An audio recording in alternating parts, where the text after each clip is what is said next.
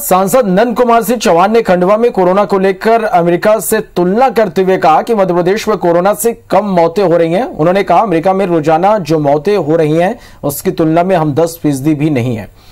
चौहान ने कहा कि पड़ोसी राज्य महाराष्ट्र के एक एक ज़िले में 500 मरीज़ रोज़ाना आ रहे हैं, जबकि खंडवा में 15 मरीज़ आने पर हवा बन जाता है। उन्होंने कहा कि कोरोना को कवर करने के लिए और बेहतर प्रयास किए जा रहे हैं। कोरोना से तो अमेरिका में मौतें हो रही हैं।